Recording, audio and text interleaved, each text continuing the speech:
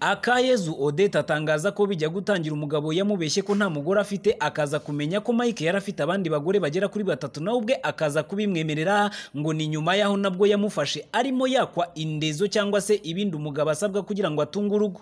Mbona aba- abagore baramuhamagara.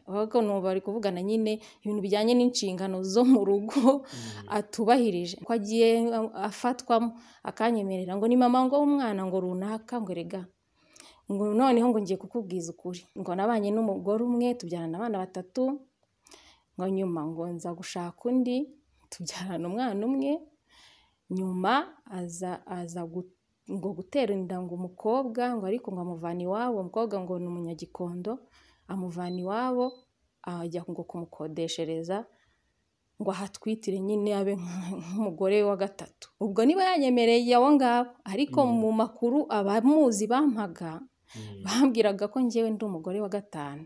Ku byo yanyibwiriye yambwira ati "Na- nabanye na babiri mu rugo uwa gatatu mu- mutera inda. Nda- ntitwabana ariko arampekeye. Ibyo yabikubwiye mwana amaze gusezerana? Idote yari yarabaye. Avuga ko umubano wabo warushijeho kujya haba nyuma y'uko Mike yangiwe ko imitungo yasanganye uyu muryango imwandikwaho cyangwa ngo igurishwe cyangwa ngo itangwemo ingwate muri banki kuko ngo byose yabyifuje cyangwa kimwe muri byo ariko ntagire na kimwe abona. Ngo iyo umugore ngo ashaka kubaka neza afite imitungo runaka umugabo nta ntayo afite ngo ni uko ngo umugore ngo afata ngo ibintu ngo atunze ngo akabyegurira umugabo kuko ari we mukuru w'umuryango. Hanyuma umugore akajya munsi y'amategeko y'umugabo akaba ari umugabo akaba ari we ufata ibintu mu- biganza bye akaba ari we umanaginga urugo. Ngo njyewe ngo mba numva ngo mfite ipfunwe ngo zo kuba ngo ngo nataha hano ngo kubera ko ngo abantu ngo buriya ngo bavuga ko ngo ndi umwinjira ngo buriya twahagurisha. Tukajya gufonda ahandi mu yindi karitsiye.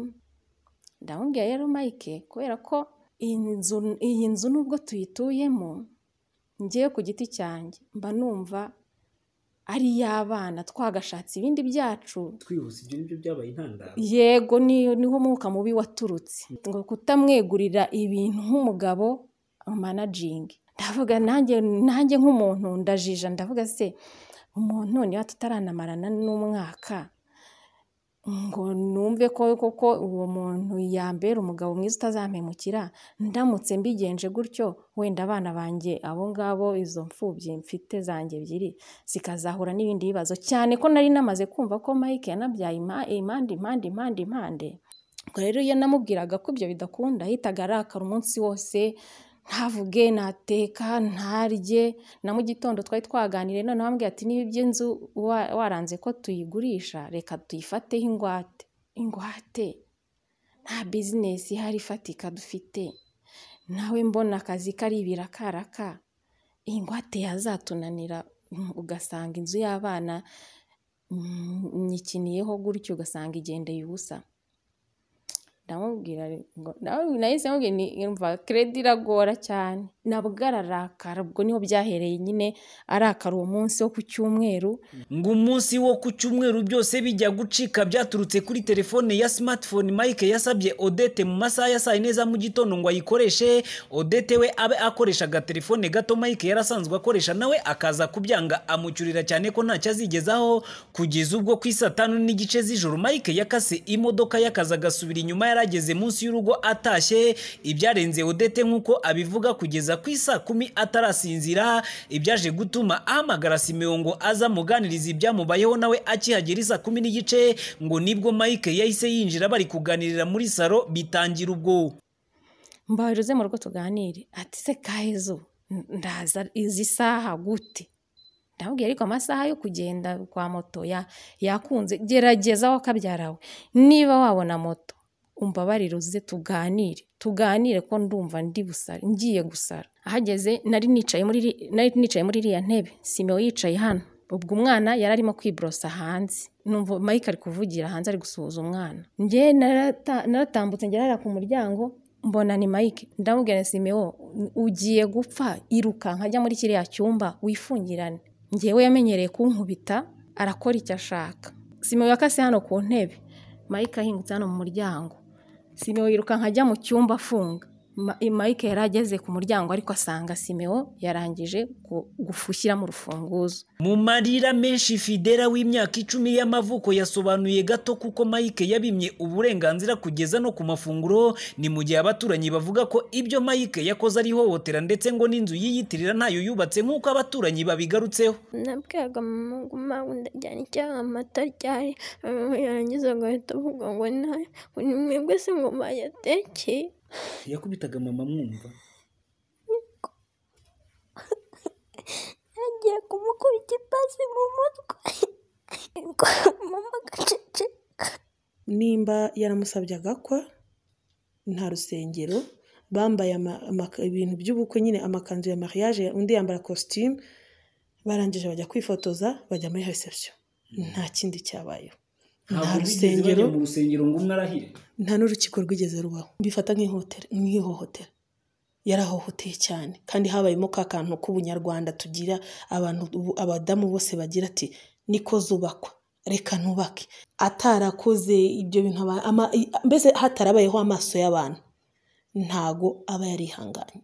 Icyo yakoze ni uko yihanganye ngo yubake. Kuko we icyo yashakaga yashaka kubaka. Ariko undi icyo yashakaga yari imibare. Umugabo ukubitira umu- umu- umugore imbere y'abana nta cyubahiro kirimo nta n'urukundo rurimo.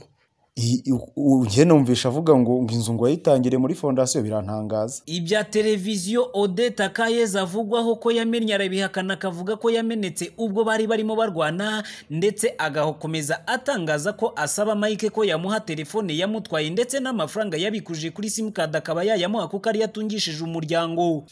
Noneho aza kunkubita ya televiziyo yavuze ngo ngo njye ngo namenye televiziyo yarambeshye.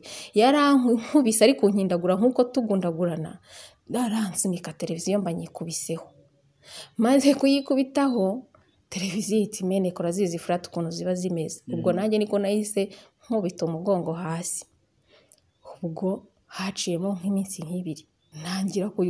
Ntangira kubona amaregere naje kujya kwa muganga kwa habyarimana barambwira ati nta byarangiye wavoruse ubwo rero nubwo navuga ngo ngo nari ngo nari nasambanye n'iki ngewe nari ndi no mu mihango ejo bundi. N'ubu ngubu yewe ndacyayirimo. Nawe bwe twanageze no kuri ribu nda- ndamwereka ngo, "Mm, gusa yo kabyara ndamwinginze. Nambabarire anyohereze utwo dufaranga twari turi kuri simukadi yanjye n'iyo telefone yanjye. Mu masegonda mirongo itatu uwakubaza mike ngo ni muntu ki wamubwira ko ari umuntu umeze ute? Mike ni umuntu uhubuka kandi ahubukana ubugome muhima mike ku murongo wa telefone tuvugana ahakana ibivugwa ko yatwaye telefone akanahakana aba bagore akavuga ko yakorewe ubujura bushukana. Ibyo ngibyo ni ikirego atanga muri ribu ntabwo ari ikirego atanga mu itangazamakuru. Nta n'iso ariko uzi ko abantu ari ibisambo kwe. Njye ndimo namurega ubujura bushukana kubera ibintu yakoze. Yakwibye iki mike? Natanze miliyoni cumi na zingahe kuri iriya nzu. Gute uvuga yuko yakwibye. Mbese ubwo si ukunyiba mbese ubwo ibyanjye mbirimo we abirimo njye mbirimo Ha- hari uwakwirukanye mike? Wanyirukanye. Eh.